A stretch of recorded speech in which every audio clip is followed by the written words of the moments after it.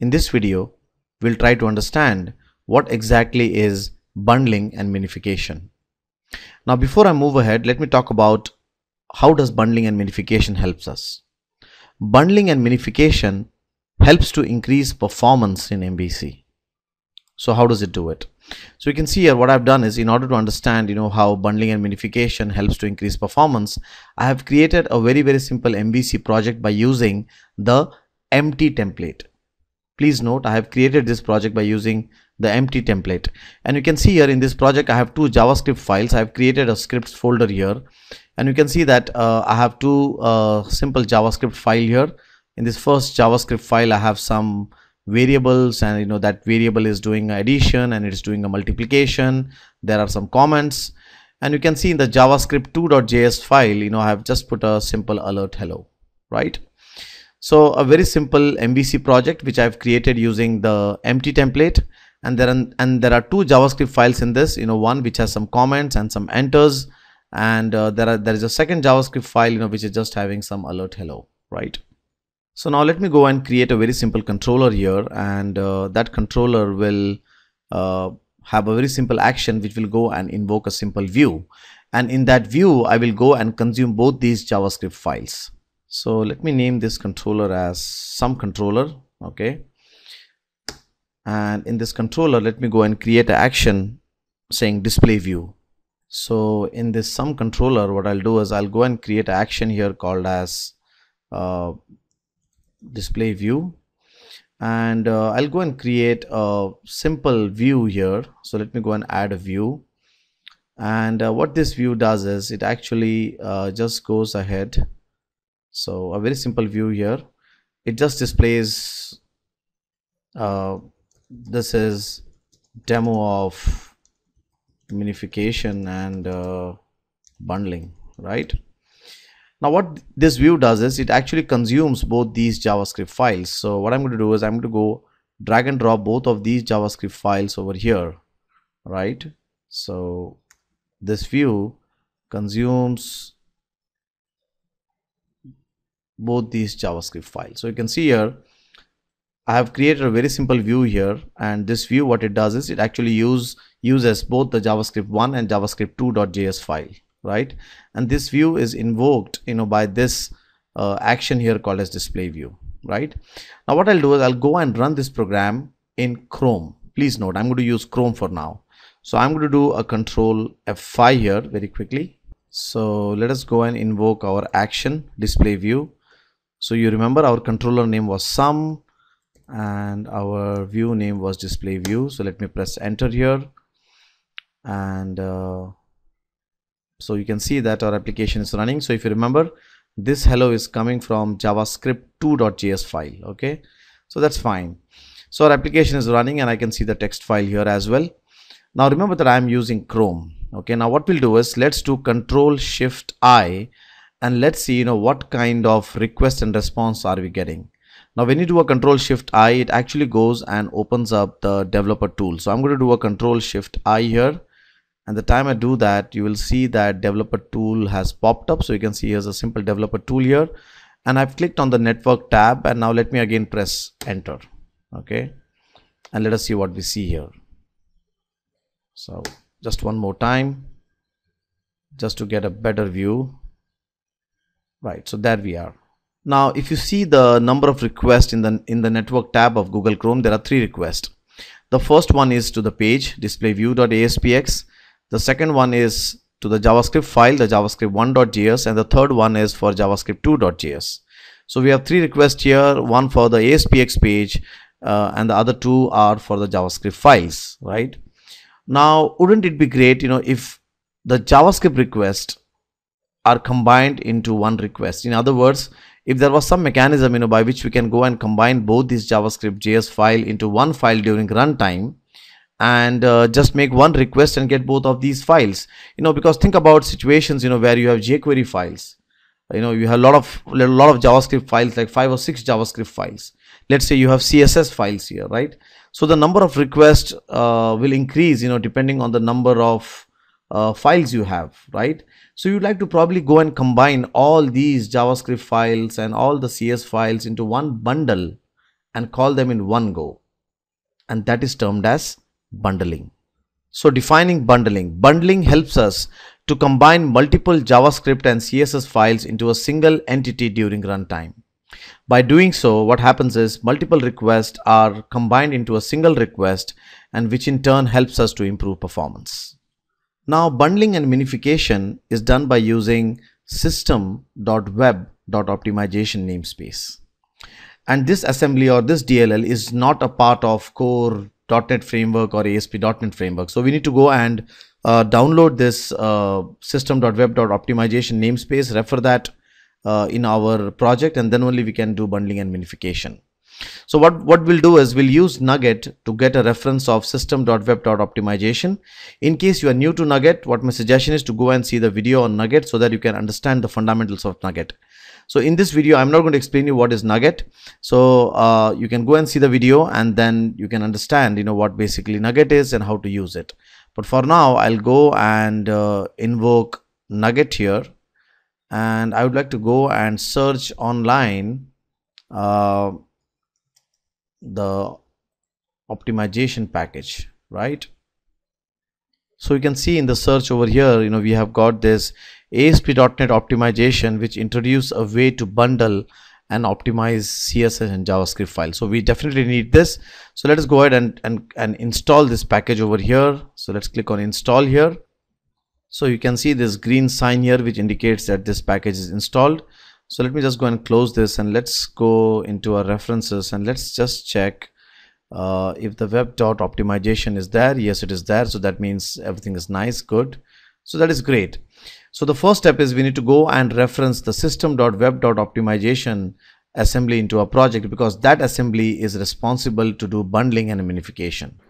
And now the next step is to go ahead and add a bundle config.cs file into the app underscore start folder. Now remember that if you have selected the basic template, then you will get this bundle config.cs file here created by itself.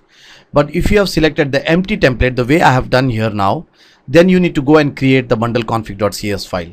So because we have created uh, this project by using the empty template, I need to go and add the bundle config file manually. So I'm going to go and add a class file here and I will name the class file as bundle config.cs. So let me go and select this class file here and I'll say this class file name is bundle config.cs. I'm going to go and add this. And in this bundle config file I need to go and create a method here called as register bundles you know and uh, this register bundle method will actually go and take all the JS files and create one file out of it okay?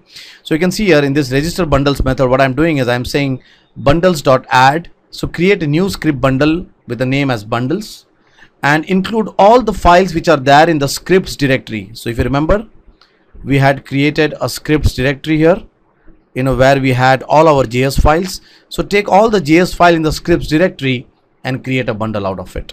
Now remember that this bundle collection uh, you know belongs to the system.web.optimization so we need to ensure that we reference the appropriate namespace here so let's go ahead and say okay I want to reference the system.web.optimization so if you do that you can see all the red things have gone off and remember system.web.optimization is not a part of ASP.NET framework at this moment. It is not a part of .NET framework.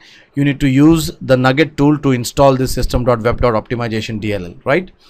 So that it is. So we have created the bundle config file. I'm going to just go and build this whole solution to ensure everything is fine. So now the next thing is, you know, we need to go and flourish this bundle collection in the MVC uh, startup method somewhere, right? And the best place to go and flourish this bundle config file is uh, or the bundle collection is in the global.asax application start event. So if you remember, the global.asax file has events, you know, which has application start, application end, session start and session end kind of events, right? So this application start event, uh, you know, fires for the first time when your application runs. So in other words, as soon as you go and host your MVC application, this application underscore start event will fire, right? So this is the best place where we can go and flourish our um, bundle config file. So what I'm going to do is I'm going to go and first refer this namespace here. So let me go and uh, do a control C here. So I'm going to say using. So using right? And over here I'll say please go and flourish or register the bundles from bundle table. Now remember again over here also we need to reference uh, the system.web.optimization namespace or else we will not be getting uh, you know the class references to bundle bundle collection etc right? So i'm going to say here okay go and reference the bundle table so very quickly.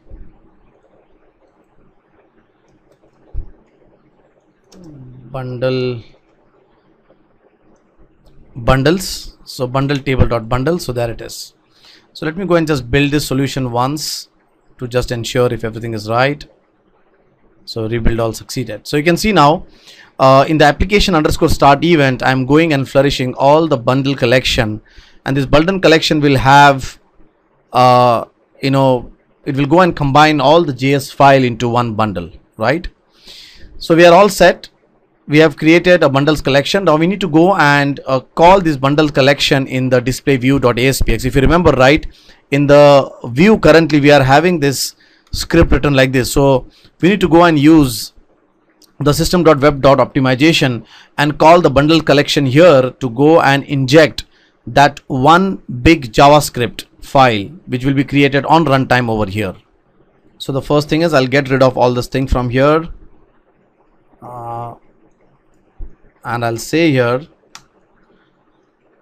please use the system.web.optimization and render all my scripts which are there in the bundles collection. Remember we had created a bundles collection by the name bundles.